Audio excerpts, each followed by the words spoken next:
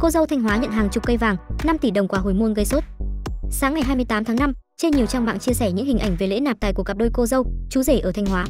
Trong lễ nạp tài, một nghi lễ cưới hỏi, trong đó nhà trai sẽ chuẩn bị một số sinh lễ mang sang hỏi cưới cô dâu, cô dâu được bố mẹ và người thân trao hàng chục chiếc kiềng, dây chuyền vàng.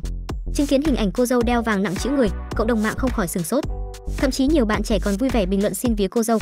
Qua tìm hiểu, lễ nạp tài diễn ra vào ngày 27 tháng 5 tại xã Xuân Tín, huyện Thọ Xuân, tỉnh Thanh Hóa. Cặp đôi bạn trẻ nói trên là chú rể Mậu Dương 26 tuổi và cô dâu Tống Linh 23 tuổi.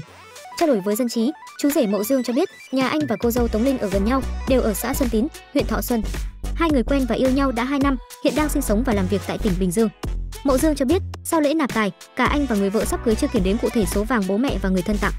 Tuy nhiên, anh ước chừng có khoảng 50 cây vàng được trao trong lễ nạp tài. Cụ thể, bố mẹ cô dâu trao 20 cây vàng, 5 tỷ đồng tiền mặt. Số vàng còn lại là cô dì, chú bác và người thân tặng.